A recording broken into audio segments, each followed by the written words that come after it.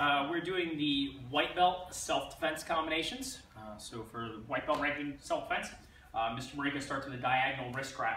The idea is I'm going to step in and do a low block. Uh, with kids especially, we really emphasize taking a big step on it. The hand comes up to the ear. When you're doing the low block, think about it as if you're going into the radial. You're doing more of a, of a smash into the radial, and you're pulling your other hand away. So there's got to be two actions with it to pull it away. From here with the range, I'm going to reverse punch. Back leg is going to come up, front kick, go right back down behind me. We try and get in the habit of ending all self-defense with double stepping and return.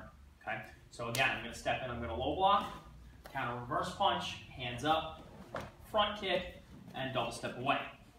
For number two, uh, Mr. Marika is doing a, a, double hand front shoulder grab, and we're doing what we call a, a swimming technique. All right, I'll do it on both sides so that the, the arm comes up over the top of his arm, under the other side, and it's going to be straight up and down, so that way I can slap my hands together, and as I do so, I'm going to rotate my shoulder and step back here. Okay, based on my range, I'm going to pick up my lead leg side kick, slide in with a back fist, double step, and return. So now if I do it on the other side, again, it's swimming because up and out of the waves, up and over the water, coming over and under, palms up. I slap as I step back to clear my distance, side kick, back fist, double step, and return. So for self-defense three and four, uh, those are based off your combative self-defense, and that's a rotating cycle.